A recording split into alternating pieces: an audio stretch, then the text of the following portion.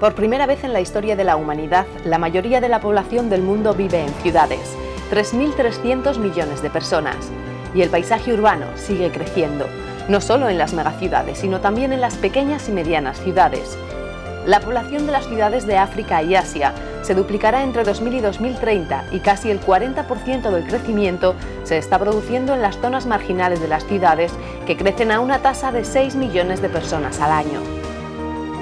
Los retos que este crecimiento plantea en relación con el agua y el saneamiento no tienen precedente, resultando cada vez más difícil responder frente a la magnitud del desafío y siendo en esta situación los más pobres los más afectados. Sin embargo, son muchos los actores, organizaciones, autoridades a distintos niveles, comunidades, que están trabajando para dar respuesta a esta situación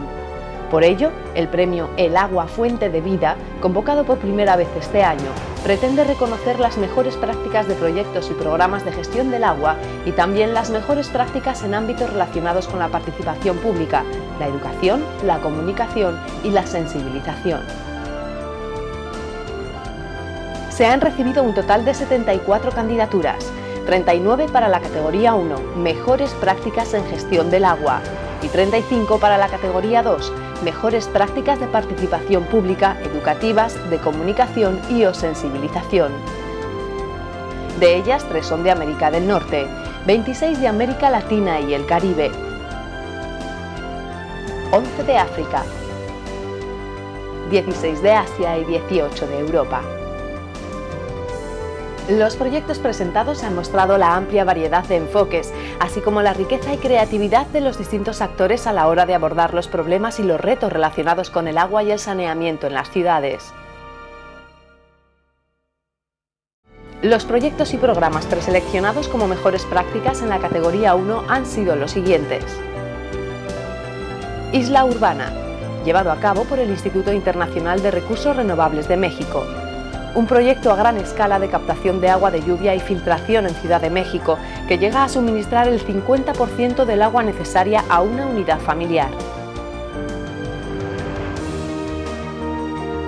Programa de rehabilitación del sistema fluvial Las Piñas Zapote, llevado a cabo por la Fundación Villar en los ríos Las Piñas y Zapote, Filipinas proyecto de rehabilitación de estos ríos y sus afluentes que abastecen a la ciudad de Las Piñas llevado a cabo en colaboración entre agencias gubernamentales a nivel central y local y toda una serie de organizaciones comunitarias.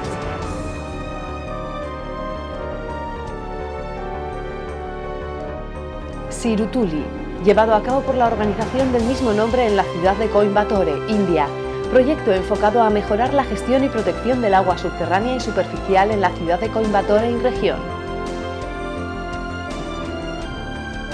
Proyecto de sostenibilidad de los pequeños curtidores en Colombia, que ha mejorado sensiblemente la situación del río Bogotá y la calidad del abastecimiento de dicha ciudad colombiana, gracias a la socialización y la puesta en marcha de actividades de producción más limpia para la reducción de la contaminación por vertidos de esta industria.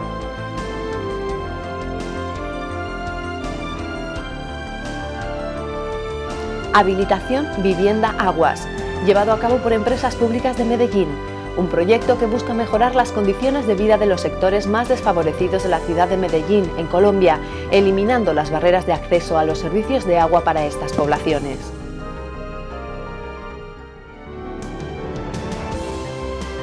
Los proyectos y programas preseleccionados como mejores prácticas en la categoría 2 han sido los siguientes. Agua segura y SIDA, llevado a cabo en Kenia. Proyecto destinado a facilitar el acceso a un agua segura, a mejorar la higiene, a reducir la carga de enfermedad y a mejorar el bienestar económico entre las poblaciones vulnerables de la región occidental de Kenia.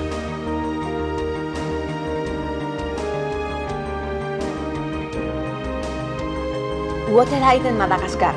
En el marco de las actividades de WaterAid, esta iniciativa está enfocada hacia un cambio de comportamiento sostenible en materia de higiene entre la población malgache, especialmente entre las poblaciones pobres y los grupos vulnerables.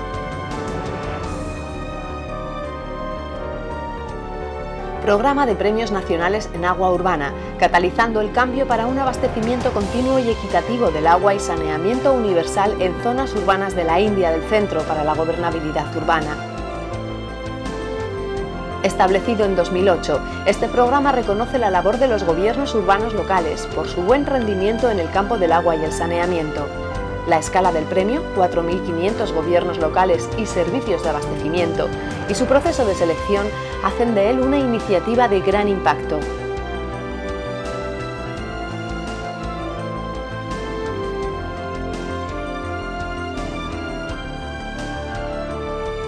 un enfoque participativo de aprendizaje para mejorar la sensibilización sobre temas de agua y saneamiento.